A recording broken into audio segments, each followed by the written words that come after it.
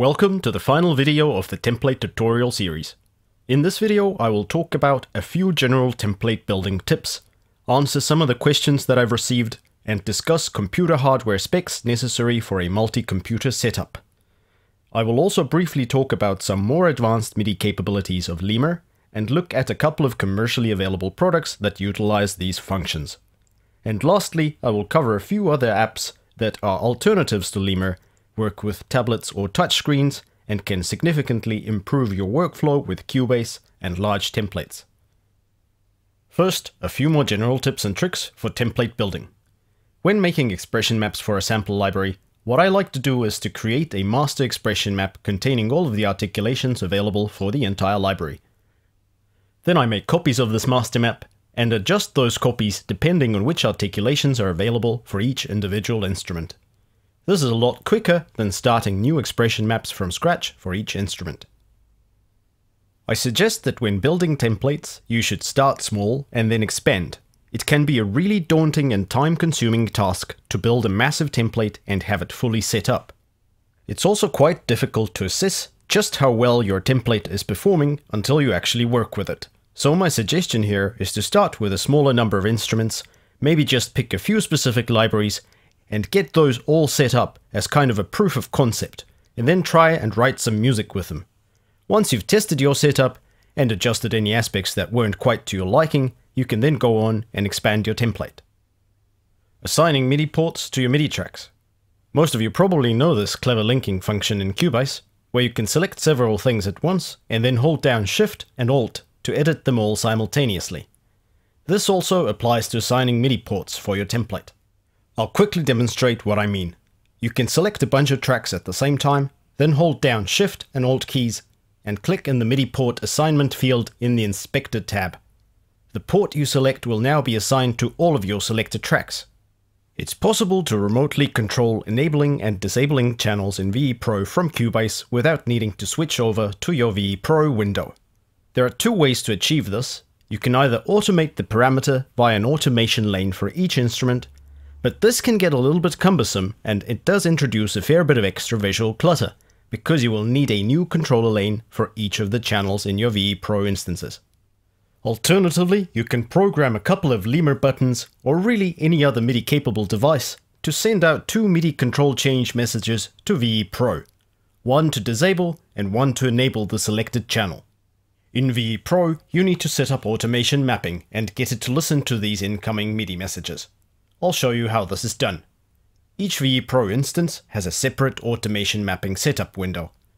Under select source, you need to define the MIDI port and the MIDI channel number of the instrument you want to control. Next select the number of the MIDI CC message that you're sending out from your MIDI device. I'm going with MIDI CC 125 here because it's at the top of the range and I'm already using 126 and 127 for other functions. Unfortunately, this does take a fair amount of time to set up, because you will need to create a separate entry for each of the instruments with the correct ports and channel numbers. I really hope that VSL will in the future implement an automatic enabling function, something like Wake on MIDI, which would mean that you could leave your entire template disabled, and as you switch to a new track, the channel in VE Pro would get enabled automatically when it detects any kind of incoming MIDI data. To finish the setup, Choose the name of the channel you want to control in the destination drop-down menu, and then select Disable. You can now disable this VE Pro channel by sending the selected CC message while you have the corresponding MIDI track selected in Cubase. If you now send CC125 with values from 0 to 63, then that will enable the channel in VE Pro, and values higher than 64 will disable the channel. Next, let's talk a little bit about hardware. One question that I get asked a lot is what kind of specific hardware requirements there are for a multi-computer setup with VE Pro. In a setup like mine, the main computer running Cubase has to be the most powerful one. Just how much power you need though depends on your exact requirements. If you're running lots of soft softsynths or use lots of audio processing plugins, then you are going to want to invest in a modern high-end CPU for your main computer. I run all of my audio processing plugins on the main computer. The reason for this is that adding any additional processing to VE Pro instances will also add extra latency to those instances, which introduces a delay when you're trying to play the virtual instrument. This is of course only noticeable while you're composing. Later in the mixing process where you don't need to perform your instrument lines in real time, you could easily add some of the processing in VE Pro if you're running out of resources on your main computer and need to share the workload a bit. Your sample servers running VE Pro do not need to be anywhere near as powerful as your main computer.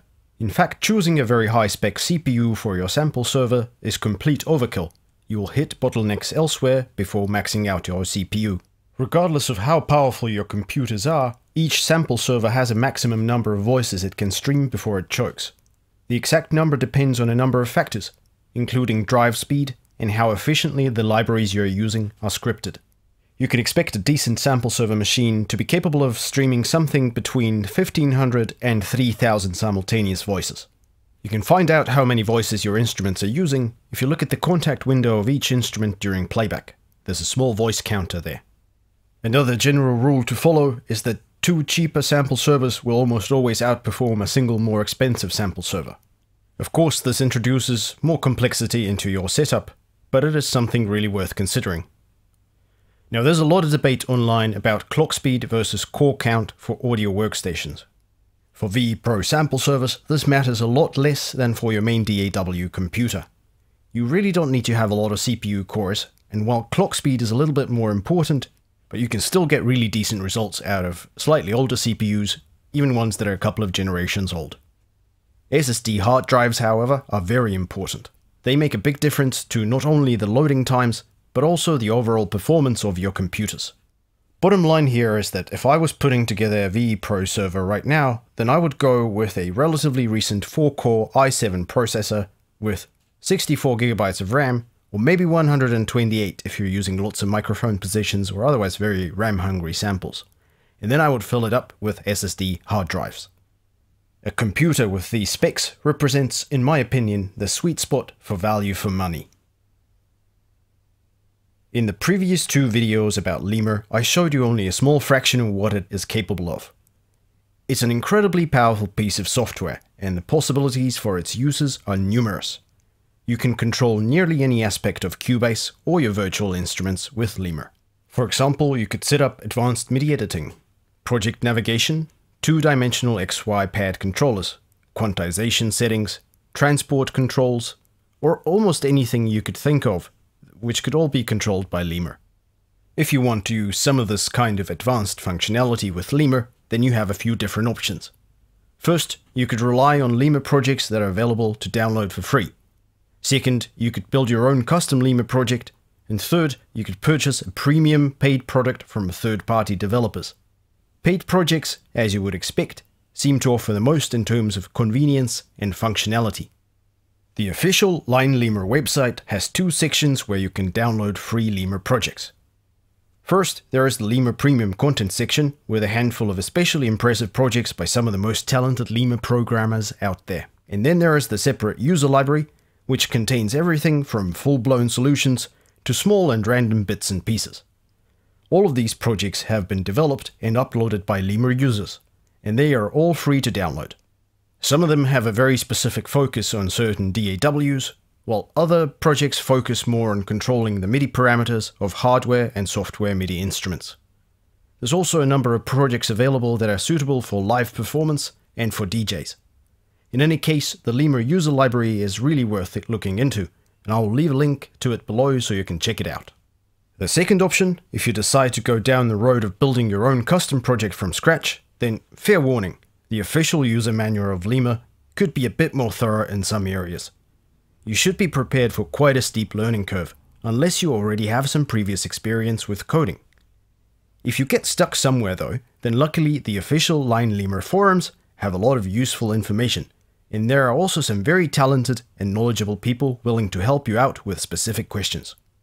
And the third option is to purchase a third-party premium Lemur project. Some of the most impressive paid Lemur products come from a developer called MIDI Kinetics. They offer a couple of different solutions for controlling your virtual instruments and for controlling your DAW. Perhaps the most interesting offering is called Composer Tools Pro, it has an advanced graphic interface that allows you to program all of your presets for your virtual instruments right on your tablet without needing to use Lemur Editor. So this is a great option if you don't want to work with the code in Lemur. You can create thousands of these presets for all of your instruments, and those presets can then be set to activate when you switch to the corresponding track in Cubase. I've learned that they use a kind of similar method for this to the one that I demonstrated in my previous video, using MIDI transformers on each track in Cubase to identify them. But their approach is a bit more streamlined than mine, using only one transformer per track. For each of your instrument presets, you can then set up different faders, buttons, and all sorts of custom controls to transmit custom MIDI data. Another particularly useful time-saving feature is that they have a standalone expression map converter program you can use this program to import articulation names from your Cubase expression maps, or you can do the reverse and create expression maps based on the articulation names in the presets that you have programmed in Composer Tools Pro. The functionality of Composer Tools Pro actually goes much deeper than this, but you can find out all of the exact details on the official MIDI Kinetics website. I'll leave a link to it below. Another developer that I've seen put out some advanced projects for Lemur is Arts Unmuted. I used some of their products a long time ago, before I started building my own custom Lemur template some three years ago. Since then, Arts Unmuted seems to have stopped actively developing for Lemur, even though they are still selling their older products on their website. I think that some of these older products are still worth checking out, as there's a lot of powerful functionality in there.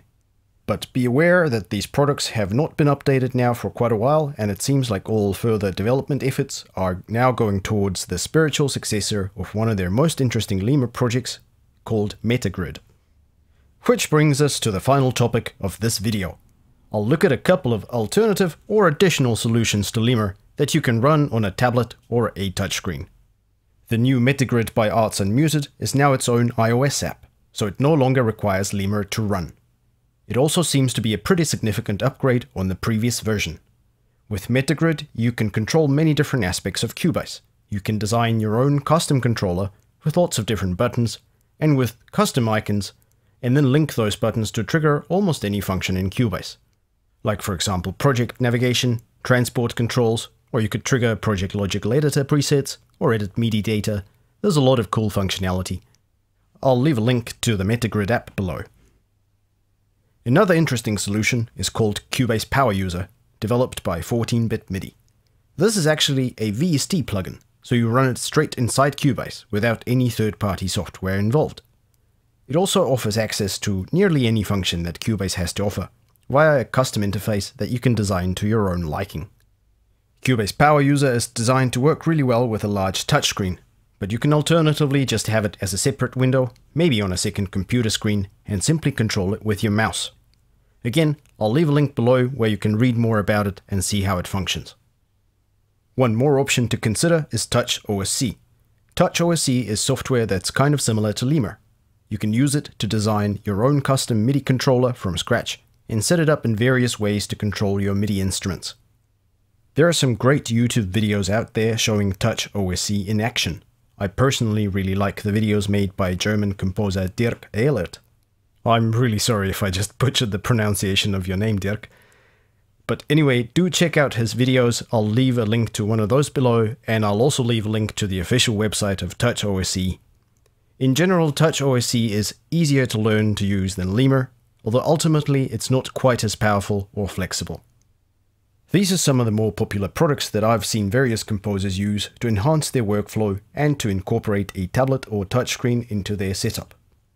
If you happen to know of any other great Lemur projects, or other third-party solutions that help working with large templates and lots of virtual instruments, then I'd really appreciate it if you could share this information and leave a link in the comments section below. And that's it for the template tutorial series. I hope that these videos have been helpful and that some of the concepts and approaches I have demonstrated or suggested can help you find your own ideal setup and lead to enhanced workflow for composing music with virtual instruments. If you have any further questions or comments, please feel free to leave them below and I shall try to answer them. Next I'll be starting a series of videos covering some music production tips and tricks. I'll talk about mixing, EQs, compression, reverbs, MIDI programming tips to get the most out of your sampled instruments, and lots more. Thank you for watching, and I'll see you next time.